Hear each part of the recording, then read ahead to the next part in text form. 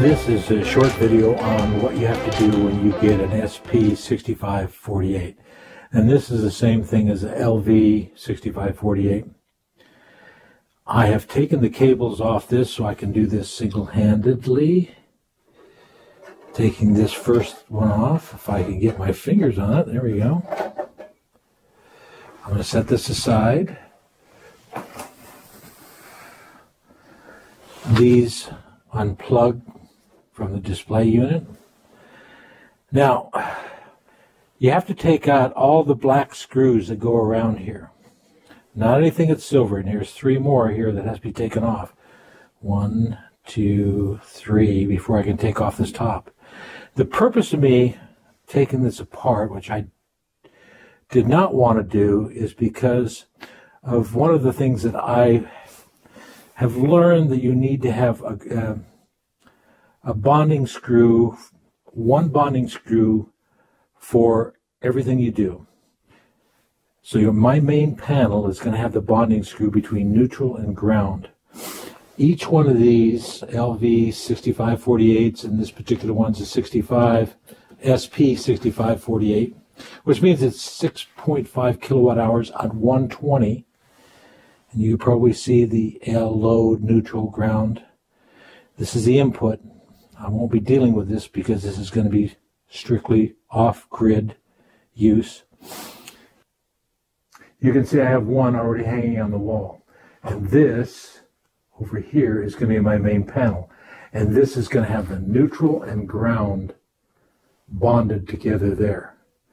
And I have two ground rods, one outside just right outside the, the, through this wall, and the other one on the opposite side of the building. So I have two ground rods, ground rods within 12 feet of each other, and that with I will be grounding into that little bar right there, which is going to be my bonding. There's a bonding screw in there, so I'm going to bond the cabinet and all the neutrals and grounds on that one single bar right there.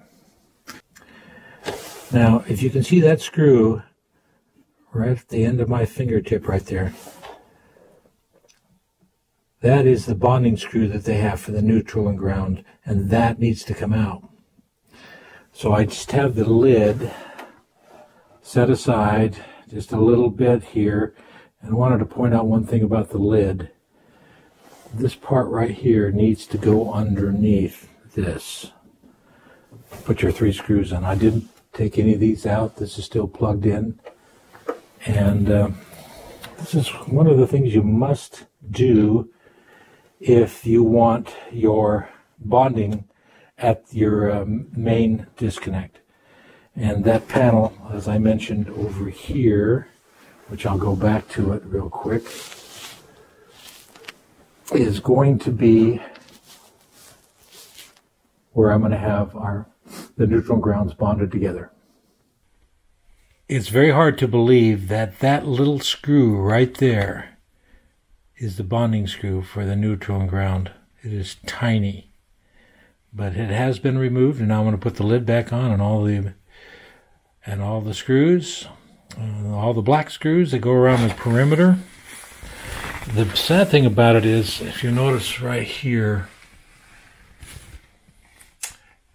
uh, probably voids the warranty.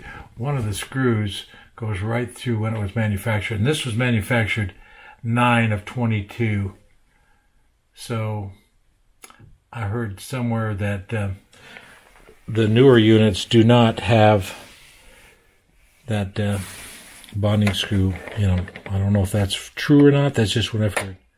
But thank you for watching. I will keep you updated as I put the uh, as the T class fuses come in. My DC uh, disconnects come in. I'm going to build the bus bars, by the way. The bus bars will be built out of this. And this is one quarter inch solid copper. And that's what I'm going to build my bus bars out of. Of course, they won't be touching any of the material. And all and everything that I've put on is going to have uh, Hardie board behind it. All my inverters, uh, I'm going to put a Wireway in, And that's going to be protected by Hardie board. Talk to you later. Thanks for watching.